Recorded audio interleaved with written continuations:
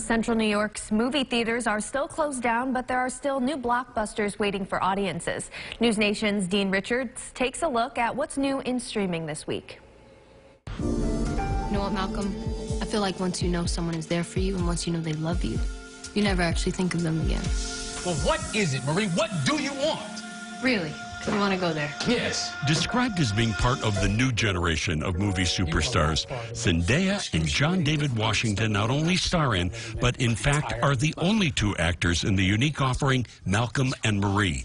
It's an hour and 45 minutes back and forth between a Hollywood couple who return home from a red carpet premiere of the movie that he has written and directed, meticulously dissecting every aspect of the evening and then of their relationship, discussing, analyzing, laughing, crying, yelling, and attacking each other mercilessly. I was constantly impressed at how the actors kept this pace going. But I also imagined being in this couple's house, being in the middle of all of this over-analyzing and fighting and making up. Sure, they were touching on issues that all couples have with each other and issues of race and self-perception. But it was all overshadowed by being a fly on these walls that mostly just made me exhausted and uncomfortable. It's a Dean's List C, now on Netflix.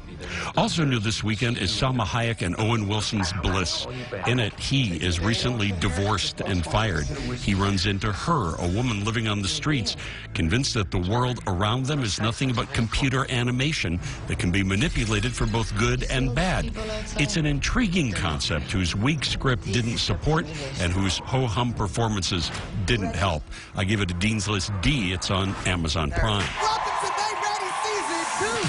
Laughs this weekend, there's Tiffany Haddish Presents They Ready, Season 2 a comedy cavalcade of comedians presented by the Girls Trip star, many of whom she started with in the stand-up comedy trenches. You can see it on Netflix.